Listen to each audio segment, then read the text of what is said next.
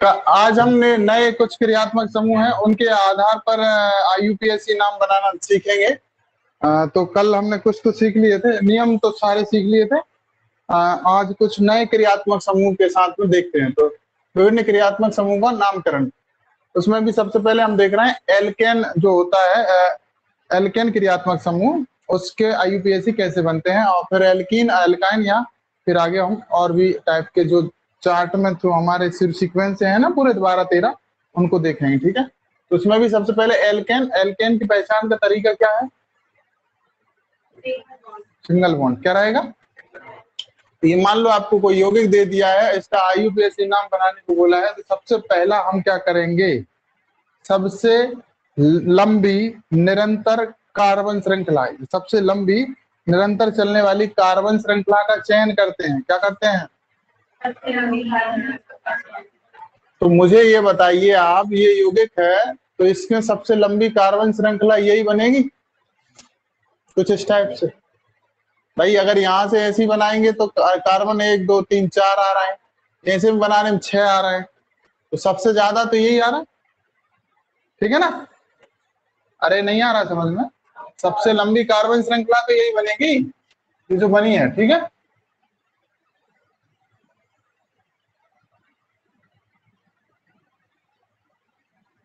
ठीक है?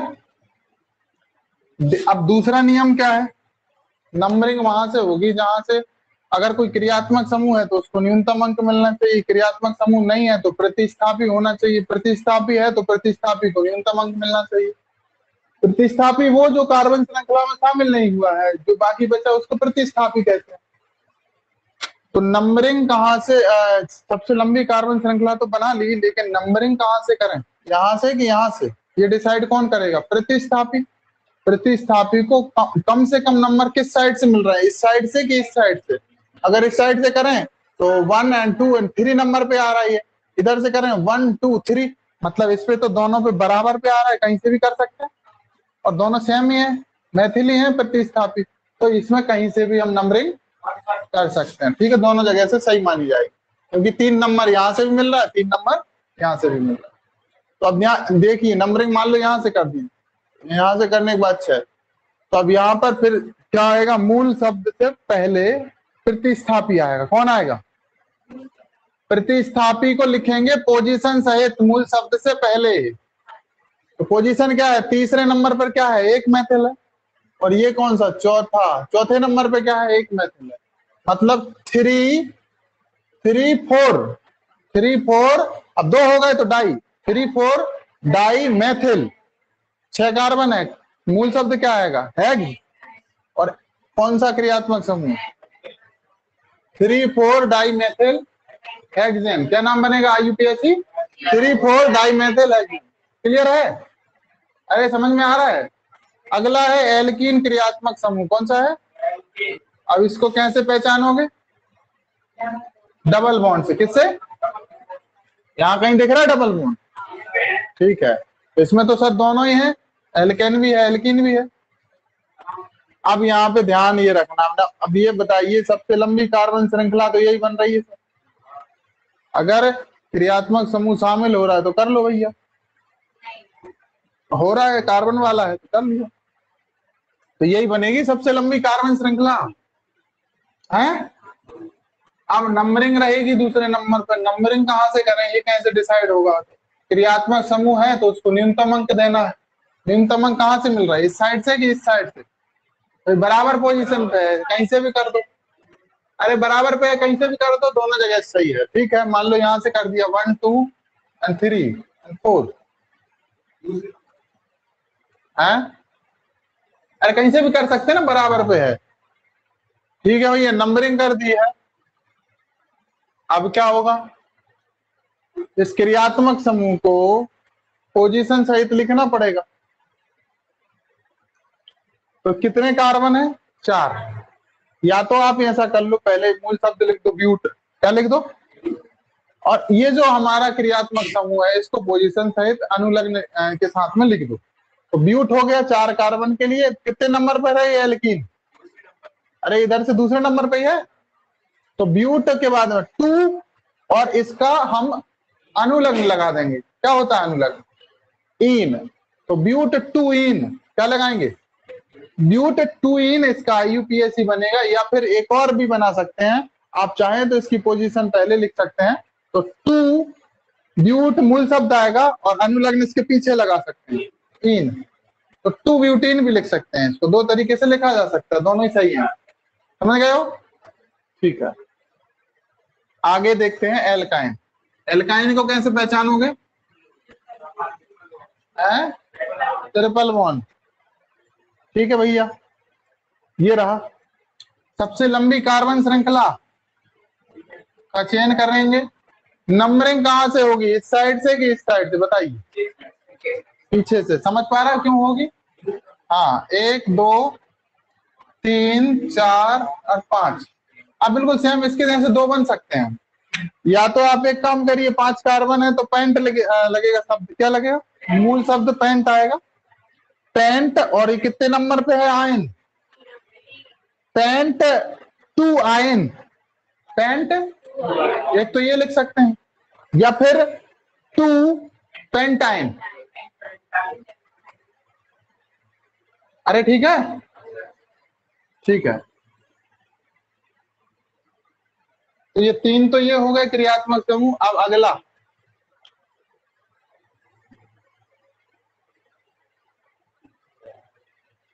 ये एक वरीयता क्रम है। वरीयता क्रम में सबसे पहले हम क्रियात्मक समूह को प्रेफरेंस देते हैं, फिर बहुबंद एक से ज़्यादा बॉन्ड है तो उनको, फिर लास्ट में प्रतिस्थापी को काउंट किया जाता है। अब ये जो एक और क्रियात्मक समूह आया, इसका नाम है एल्कीन आयन अब ये दोनों मिक्स हैं एल्कीन और आयन मतलब इन भी है और आयन भी है मतलब डबल बॉन्ड और ट्रिपल बॉन्ड दोनों है? तब कैसे करेंगे यूपीएससी कैसे बनाएँगे या नंबरिंग में कैसे क्या करते हैं? अगर मान लो दोनों सा, साथ में आ जाते हैं तो फिर कैसे करेंगे मान लो ये यौगिक दे दिया है इसमें डबल बॉन्ड भी है और ट्रिपल बॉन्ड भी। अब इसी को हम एल्कीन आयन दोनों बोल सकते हैं ना? एल्कीन आयन क्रियात्मक समूह। दोनों है इसमें प्रेजेंट भैया देखो, इसकी सबसे लंबा कार्बन श्रृंखला चयन कर लिया। अब दिक्कत अब देखिए भैया, नंबरिंग कहाँ से होगी? इस साइड से होगी, इस साइड से? प्रतिस्थापी को न्यूनतम अंक कहाँ से मिल रहा है? यहाँ से यहाँ से? या क्रियात्मक समूह? प्रतिस्थापी तो है नहीं इसमें। तो क्रियात्मक समूह को देखें। क्रियात्मक समूह को यहाँ से नंबर इनकम मिल रहा है? नंबर यहाँ से मिल रहा है। कम नंबर कहाँ से? यहाँ से। तो फिर वहीं से कर देंगे जहाँ से कम तो नंबरिंग यहाँ से ठीक मानी जाए, यहाँ से नहीं मानी जाए, यहाँ से कर दो तो गलत हो जाए कई बच्चे ये कह देंगे सर डबल बॉन्ड पहले आता है ट्रिपल बॉन्ड से परियता क्रम में उसमें तो उस ऐसे मत कर देना। तो कोई भी हो, लेकिन जहाँ से अगर कम नंबर मिल रहा है तो फिर वहीं से करना। One two three four five ये वाला ठीक होगा। बताइए, अब क्या बनेगा?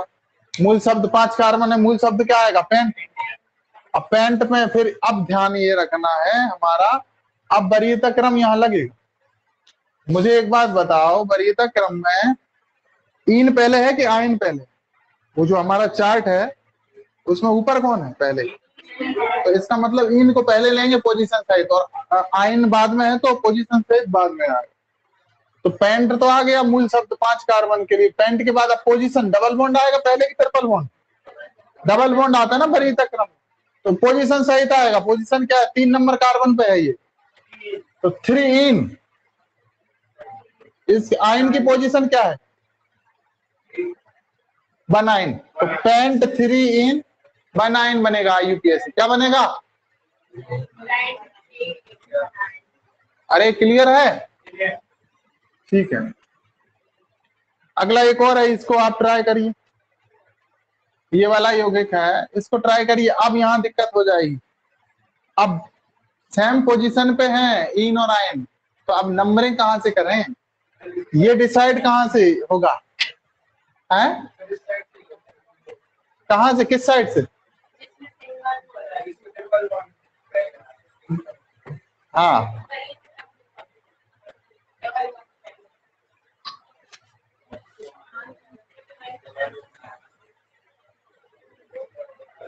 ये नंबरिंग यहाँ से अगर सेम पोजीशन पे है तो नंबरिंग इस साइड से होगी। है? इस साइड से होगी? हाँ। फिर बरीता क्रम लगेगा इसमें। बरीता क्रम में जैसे हम पहले इन लिख रहे थे तो नंबरिंग भी कहाँ से होगी? इन से। तो यहाँ से मानी जाएगी। ठीक है? अरे, समझ में आ रहा है? उससे वो चार्ट वाला जो है, उसमें जो पहले आएगा, फिर वहाँ से नंबरिंग होगी। वहीं से नाम भी लिखा जाएगा पोजीशन सहित तो यहाँ से नंबरिंग सही मानी जाएगी इस साइड नहीं तो कहाँ से मिल रहा? दोनों बराबर मिल रहा है। सेम नंबर पे तो है। पहले से यहाँ पे मिल रहा है पहले पे यहाँ पे मिल रहा। है तो डबल बॉन्ड हाँ तो यहाँ से होगी। नाम क्या बनेगा भैया? देखो, पाँच कार्बन है पेंट अब यहाँ भी बरी वरीयता क्रम में इन पहले आएगा आइन बाद में आएगा। हाँ वन आइन वन नंबर पे है ना आइन और ये फोर पे है। ठीक है? अरे आ रहा है समझ में? आधा को नहीं आ रहा। नहीं आ रहा वो बाद में मिलना मेरे अलग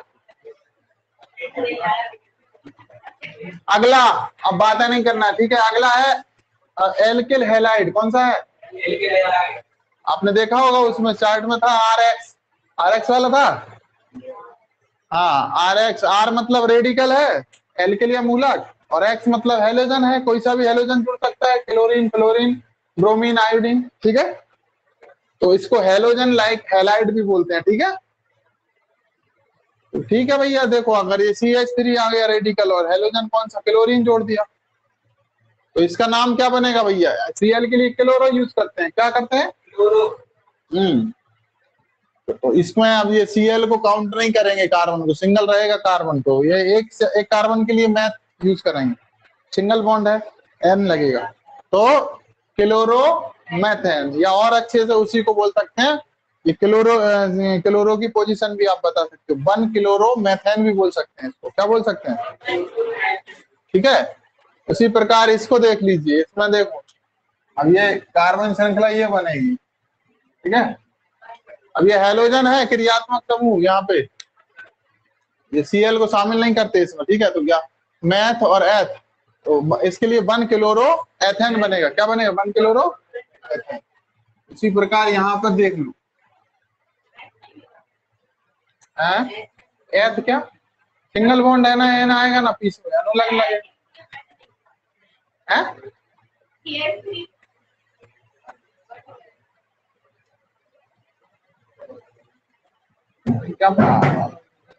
ये दोनों है ना, दो कार्बन तो मैथ एथ लिखेंगे ना। सामान्य नाम थोड़ी ना बना रहे हैं आईयूपीएससी बना रहे हैं। ये वाला है। तो यहाँ पर क्या आएगा? ये सबसे लंबी कार्बन श्रृंखला वन और टू कहीं से भी कर दो। तो one two one two di भाई दो लगे हैं ना। वन टू डाई ब्रोमो क्या यूज़ करेंगे? उधर सीएल के लिए क्लोरो ब्रोमाइड के लिए ब्रोमो तो one two di bromo meth और eth ethane one two di bromo ethane इसका बनाओ रे। इसका सामान्य नाम क्या होता है? ट्राई क्लोरोमेथेन क्या होता है? आप देख पा रहे हो ना, तीन क्लोरो है ना? तो इसको सामान्य नाम बनेगा ट्राई क्लोरो मैथेन एक कार्बन है तो मैथेन ट्राई क्लोरो मैथेन लेकिन आईयूपीएससी अच्छा यही आईपी आईयूपीएससी यही है, लेकिन इसका सामान्य नाम क्लोरोफॉर्म है। क्या? जिसको सूंघने से बेहोशी आ जाती है, ठीक है, क्लोरोफॉर्म को। देखा होगा कई बार वो रुमाल पे लगा क्लोरोफॉर्म, यही होता है ट्राई क्लोरोमेथन आईयूपीएससी नाम होता है। अगला है, बहुत अच्छे से जानते हैं इसको तो तुम। एल्कोहल है। हाँ ये तेरा फेवरेट है। ये इसको भी जानते हो? C H three O H को क्या बोलते? सामान्य नाम क्या है C H three O H का? अरे, सामान्य नाम है मैथिल एल्कोहल क्या है? लेकिन आईयूपीएससी क्या है? जो मैथेनॉल भी ओ एच समूह का अनुलग्न ओल लग गया है, ठीक है? और एक कार्बन था तो मैथ आएगा, ठीक है? सिंगल बॉन्ड था, ठीक है? मैथे मैथेनॉल मैथ शब्द आएगा, मूल शब्द एक कार्बन की वजह से और ऑल लग जाएगा तो मैथेनॉल उसी प्रकार इसका सामान्य नाम भी आप जानते हैं। मैथ प्रोप तीन कार्बन प्रोपेल है ये। रेडिकल कौन सा है? तीसरे नंबर का रेडिकल प्रोपेल एल्कोहल सामान्य नाम है। आईयूपीएससी प्रोपेनॉल या और अच्छे से बन प्रोपेनॉल इसको भी और अच्छे से बन मैथेनॉल लिख सकते हैं। या मैथ बन ऑल भी लिख सकते हैं, ठीक है? इसका बनाओ, इसका। सबसे लंबी कार्बन श्रृंखला है ना? नंबरिंग कहाँ से? सबसे कम एक दो। यहाँ से होगी नंबरिंग, यहाँ से। क्रियात्मक समूह को न्यूनतम अंक या प्रतिस्थापी को न्यूनतम अंक मिलना चाहिए। ठीक है? ठीक है भैया। तो इसमें क्या होगा? दो नंबर पे है प्रतिस्थापी। देखो, ये मैथिल सूत्र है। और ये दो नंबर पे ये ओ एच है। तो टू मैथिल क्या आएगा? और कितने कार्बन है? चार। टू मूल शब्द क्या आएगा? ब्यूटेन अरे सिंगल बॉन्ड है ब्यूटेन और अब इसकी पोजीशन भी आएगी क्रियात्मक समूह की। पोजीशन सहित आएगा। दो नंबर के कार्बन पे है। और इसका क्या लग जाएगा? अनुलग्न। टू ऑल ठीक है? तो two methyl butane two ol ठीक है? Yes, या फिर एक और बना सकते हो। Two methyl two butane ol ऐसा भी लिख सकते हो। भाई टू नंबर पे ऑल लगा है ना? टू पे मैथिल है। प्रतिस्थापी भी है। इसी दो नंबर पे ये है प्रतिस्थापी सी एच थ्री इसी दो नंबर पे वो एच जुड़ा। है इसीलिए ये टू टू आ रहा है बार बार। तो ये ऑल की पोजीशन भी टू पे ही है और ये प्रतिस्थापी भी टू नंबर पे क्लियर है? एल्किल हो गया। और देख लो एल, एल, सॉरी एल्किल कह रहा हूँ। एल्कोहल हो गया। एल्कोहल में दो और हैं। इसको तो हम जानते हैं। इसको नहीं जानते इसको जानते हैं। इसको अभी पढ़े तो फेट वाले इसमें चैप्टर में। बायोकेमिस्ट्री बहुत अच्छे से जानते हैं? दो तीन बार पढ़ा था। यही था। ये प्राणी यही था। C H two C H वो थोड़ा सा ऐसा लिख दिया। था कंफ्यूज तो नहीं हो रहा है? वो ऐसा लिखा, सर, हम नहीं पहचान पा रहे वो ऐसा लिखा था, आपने ऐसा ही क्यों लिखा है तो ऐसा लिखा। ऐसा ही था ना? भूल गए। याद आ रहा है? कौन था? हाँ ट्राई हाइड्रिक एल्कोहल भी बोल रहे थे इसको हम। तीन है ओ एस लगे ना? क्या बोल रहे थे? हाँ। इसका सामान्य नाम तो आपको पता है ग्लिसरॉल होता है। क्या होता है? लेकिन आईयूपीएससी अभी तक पता नहीं था। अब अपन आईयूपीएससी बनाते हैं। आईयूपीएससी बनाएँगे सबसे लंबी कार्बन श्रृंखला। नंबरिंग कहीं से कर दो। वन टू थ्री तो भैया वन टू थ्री या तो ऐसा बनाइए आप। One two three tri propanol. या ज़्यादा सही कैसा होगा? इस पे आप तीन कार्बन है तो प्रोपेन ले लीजिए। प्रोपेन और वन, टू, थ्री, तीन है तो tri. One, two, three, tri. और ये इसका पूरा अनुलग्न क्या लग जाएगा? ऑल तो propane, one, two, three, tri ol इसका सही आईयूपीएससी होगा, ठीक है? क्लियर है?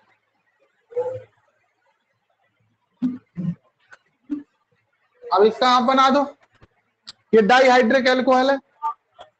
हाँ तो इसका यूपीएससी क्या बनेगा? कुछ नहीं सर ऐसा इसका बनाया था तो इसका बन जाए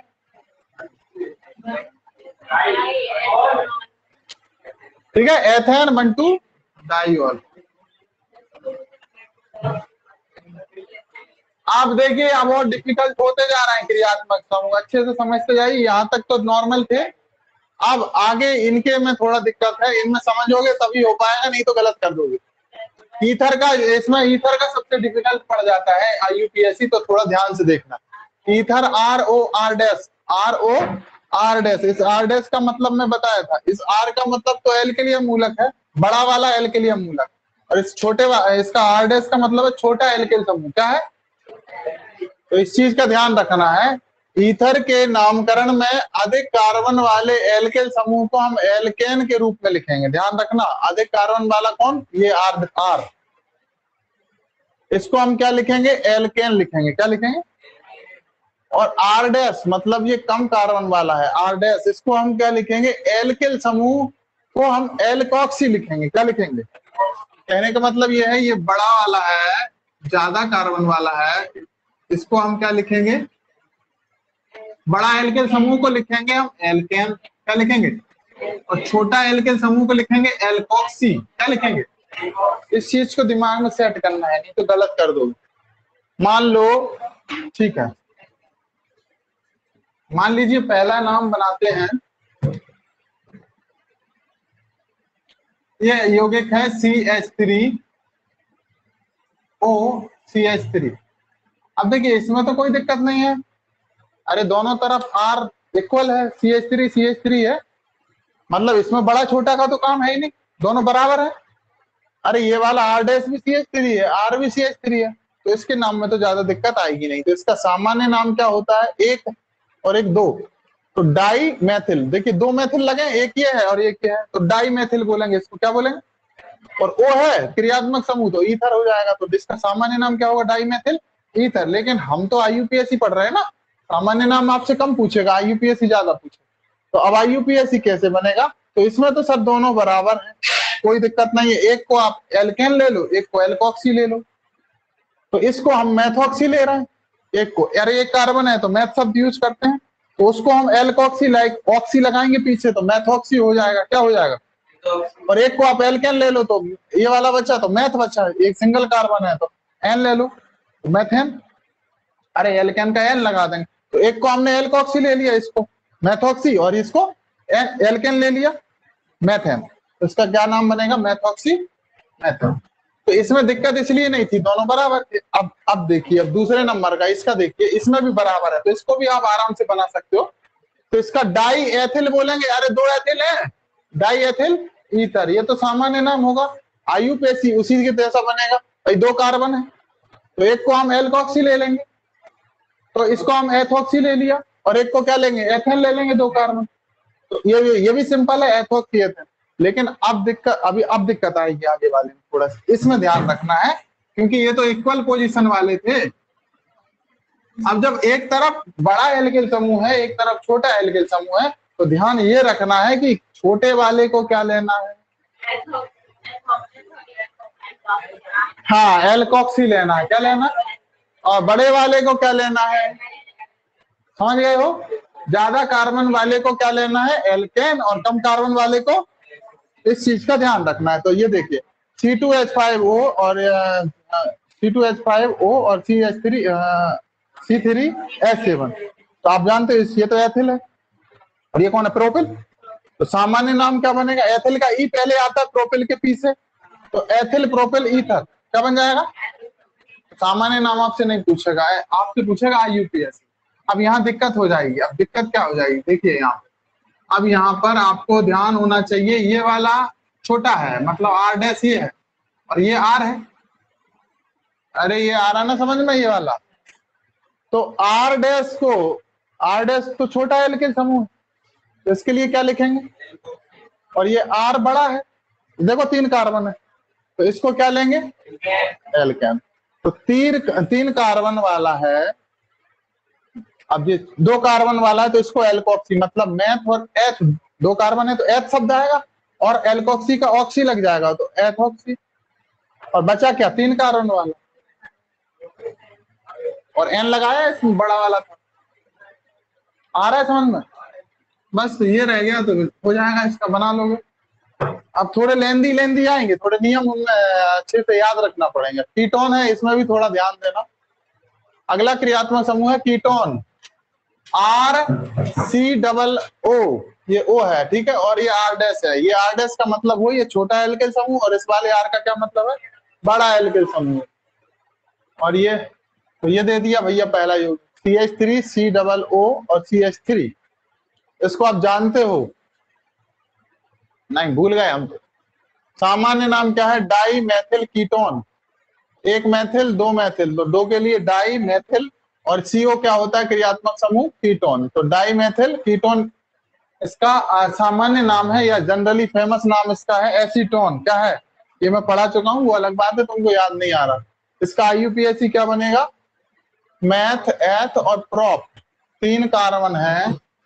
इसको ऐसा भी लिखा जाता है, C S three.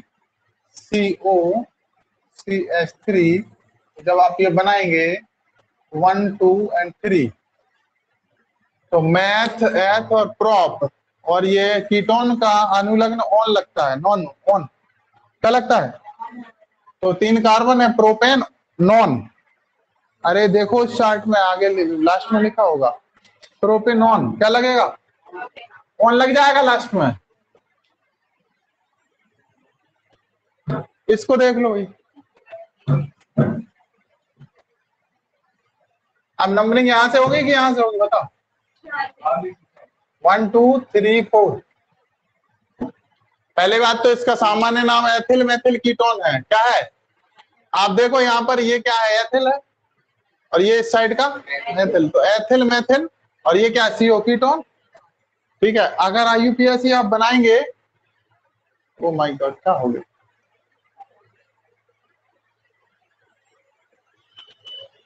एक मिनट एक मिनट। हाँ यही है। आईयूपीएसी देखो, चार कार्बन है ब्यूटेन बनेगा। क्या बनेगा? और अगर पोजीशन बन, या तो ऐसा भी लिख सकते हो आप ब्यूट और ये कौन से नंबर पे दो नंबर पर ब्यूट टू ऑन भी लिख सकते हो इसको। या टू ब्यूटेनॉन भी लिख सकते हो, ठीक है? या ब्यूटेनॉन भी लिख सकते हो, ठीक है? पोजीशन बता के लिखोगे तो और ज़्यादा सही माना जाता है।